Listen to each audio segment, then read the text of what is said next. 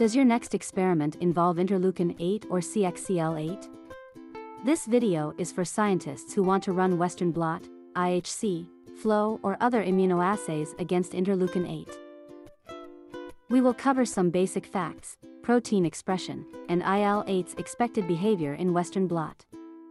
All information in this video is based on public information and no proprietary experimental evidence was used. Topic 1 Quick facts about IL 8. Interleukin 8 is a CXC chemokine family member. IL 8 is a secreted protein that is involved in the inflammatory response, attracting neutrophils to sites of infection in the body. Interleukin 8 is 99 amino acids long and runs about 11 kilodaltons on a Western blot. This protein can be cleaved at the N-terminal to yield a major IL-8 isoform of 72 amino acids that runs about 8 kilodaltons on a Western blot. Topic 2. Where is IL-8 expressed? High levels of IL-8 are found in the bone marrow and lymphoid tissues.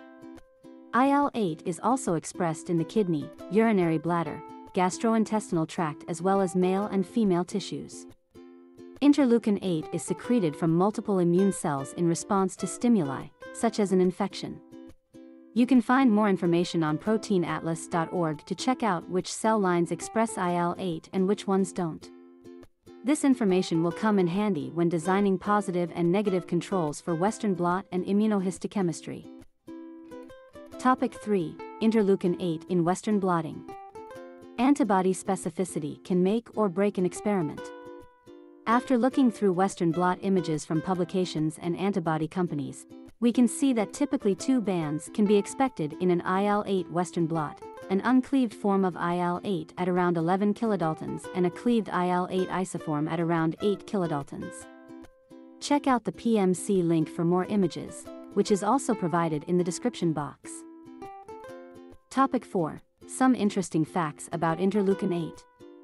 Overall, IL-8 is an important molecule involved in the inflammatory response. It was discovered in 1987 as a novel chemokine that specifically attracted neutrophils, but not monocytes.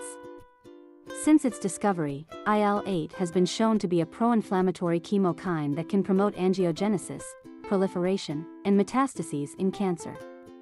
Researchers are further investigating interleukin 8's role as a potential biomarker in numerous diseases. Thank you for watching, and check out the links and references in the description box below. Let us know in the comments which biomarker you would like us to discuss next. Subscribe to stay tuned for more biomarker videos.